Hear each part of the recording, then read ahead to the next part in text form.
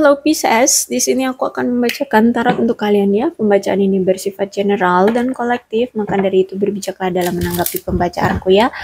Dan tema kali ini itu tentang keadaan percintaan kamu, jadi boleh kalian fokuskan dengan dia siapa ya orang yang kalian ingin tahu perasaannya ataupun keadaannya. Sebutkan namanya juga di dalam hati ya. Oke, kita mulai.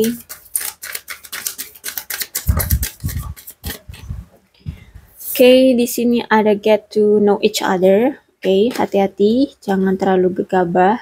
Worth it waiting for. Ya, jadi eh, pelan-pelan uh, aja untuk mengenal satu sama lain ya. Karena di sini kalian disuruh untuk menunggu ya. Jangan cepat-cepat menaruh hati pada seseorang. Mungkin kalian di sini masih PDKT atau mungkin saling mengenal dan aku rasa di sini memang kalian itu udah ngerasa klik sama dia tapi ingat getting to know each other dulu ya dan tunggu sabar sabar di sini disuruh kamu disuruh nunggu ya. Kamu harus kenali dulu dia jangan sampai kamu nanti kecewa ya. Kenali dulu baik-baik dianya seperti apa kriteria eh, karakter dia seperti apa kebiasaan dia seperti apa. I know kamu sangat suka sama dia kamu cinta sama dia tapi ingat ya dan di sini tuh kamu disuruh untuk release your ex dulu. Ya. Sembuhkan hatimu.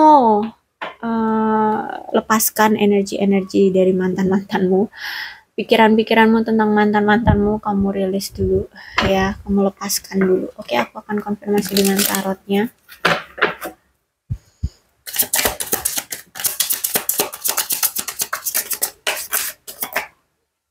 Oke, di sini ada Knight of Wands, ada The Tower, kemudian ada Ten of Cups.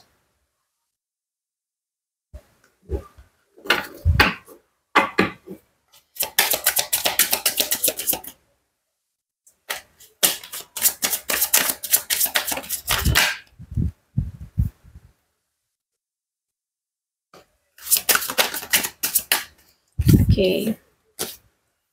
Ada judgment ada Two of Pentacle, Eight of Wand, kemudian juga ada Ten of Wand. Ya. Ya, aku lihat di sini memang ini orang baru ya, baru datang ke dalam hidupmu, ke dalam percintaanmu dan orangnya di sini aku lihat memang orang yang berani, penuh dengan energi uh, ya, uh, mungkin terlalu bersemangat ya. Uh, terus uh, vitalitasnya bagus. Wow, I don't know kenapa aku ngomong vitalitasnya bagus. Ya mungkin uh, energi dia kuat gitu ya, kesehatan dia bagus kayak gitu. Kelihatannya badannya segar buger ya, mungkin berotot badannya ya, good looking ya.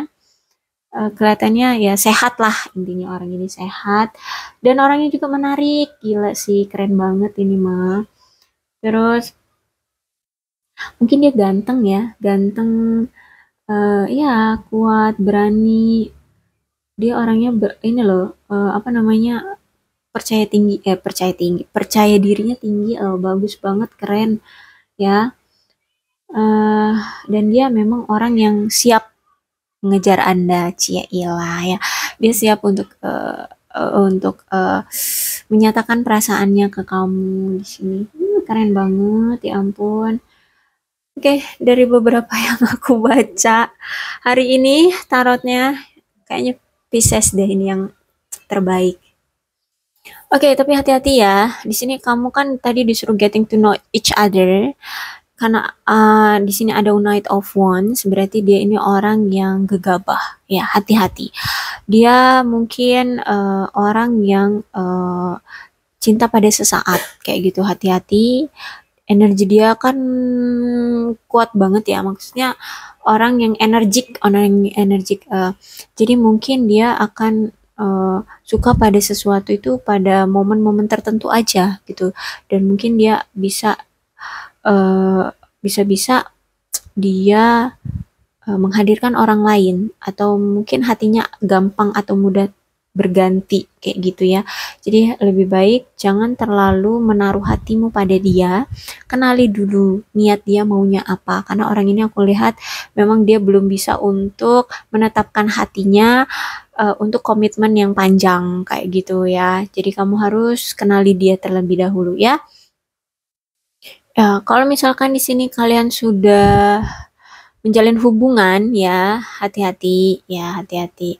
Kalau kamu ternyata di sini sudah melihat watak aslinya dan kamu mulai bimbang kamu mulai ragu dengan dia eh uh, itulah kebenarannya ya.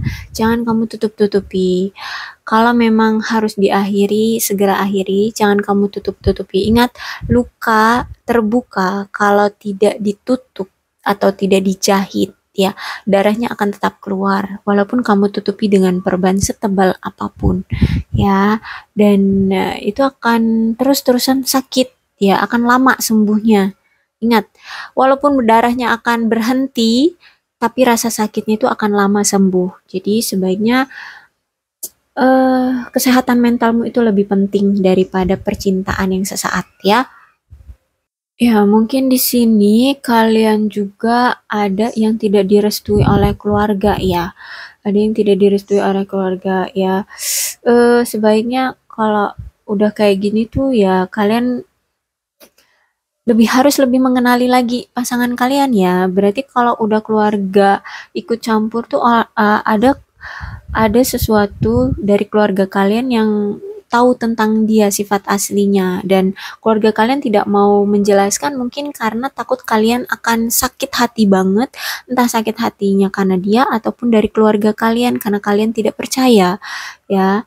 Jadi lebih baik kalian perhatikan sekali pasangan kalian ini. Dia orangnya seperti apa. Apalagi di sini ada judgement lagi.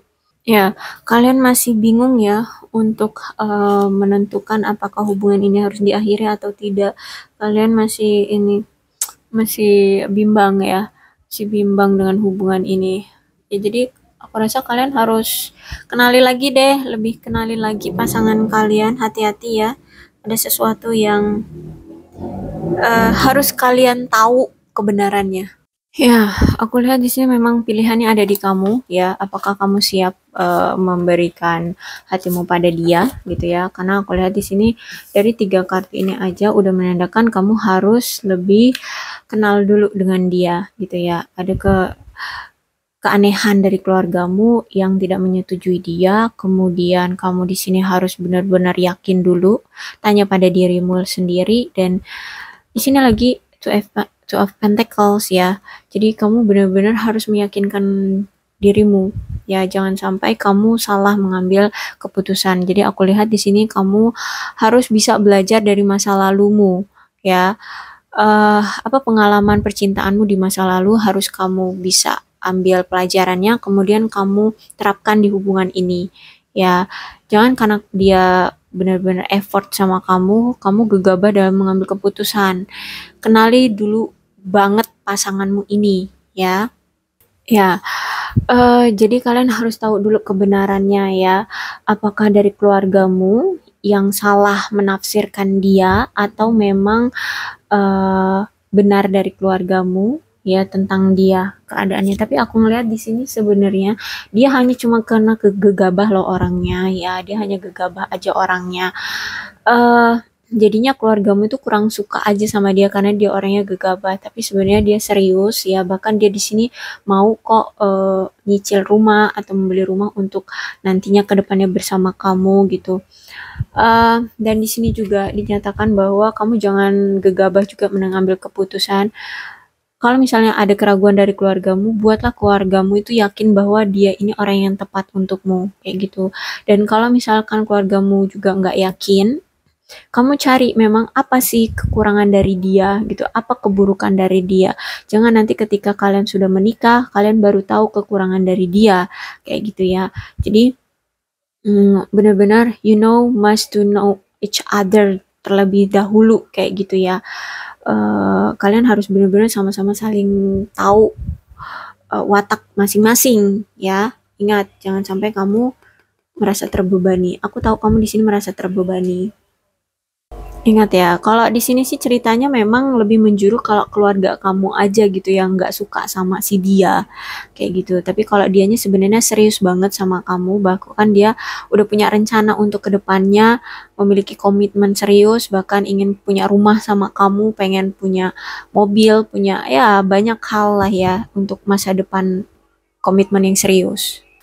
Ya, jadi aku lihat di sini kamu memang uh, orang yang selama ini tuh cuek gitu ya tentang hubungan romansa percintaan.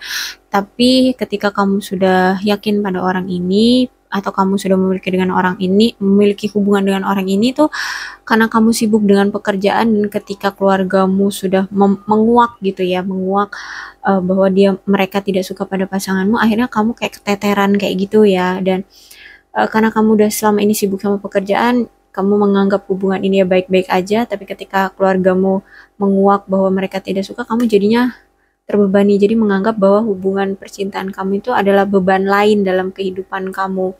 Kayak gitu. Jadi aku rasa kamu dan pasangan memang harus bekerja sama untuk uh, meyakinkan hubungan ini pada keluarga gitu ya. Dan uh, kamu memang butuh bantuan dari pasanganmu untuk uh, benar-benar meyakinkan gitu ya, meyakinkan dan kamu juga harus bisa tahu bahwa benar-benar pasanganmu ini uh, memang serius sama kamu kayak gitu ya, jangan main-main kayak gitu ya.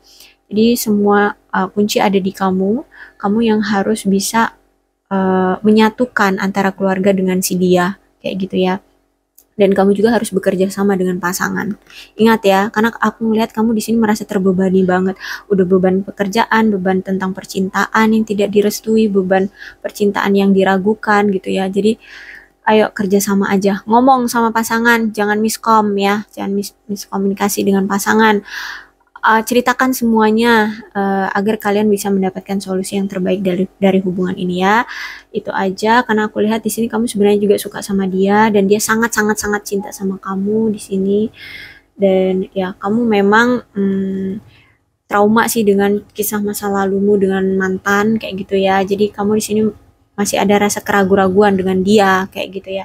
Apalagi ditambah lagi keluarga kamu yang tidak suka dengan dia kayak gitu. Kamu makin ragu-ragu nih gitu ya. Jadi cari solusinya bareng-bareng dengan pasanganmu yang sekarang ya. Oke, aku rasa cukup pembacaan aku untuk kalian semua dan ini zodiak yang berdiling dengan pembacaan ini ada Leo, Aries, Sagittarius, uh, Cancer, Scorpio dan Pisces, Capricorn, Taurus dan Virgo. Energi yang paling kuat I think tidak ada. Tapi tidak menutup kemungkinan kedua belah zodiak bisa resonate dengan pembacaanku ya kalau ini uh, sesuai dengan keadaan kamu sekarang Pisces. Ya, jadi berbijaklah dalam menanggapi pembacaanku. Oke, cukup ya. Salam sehat untuk kalian semua dan bye-bye.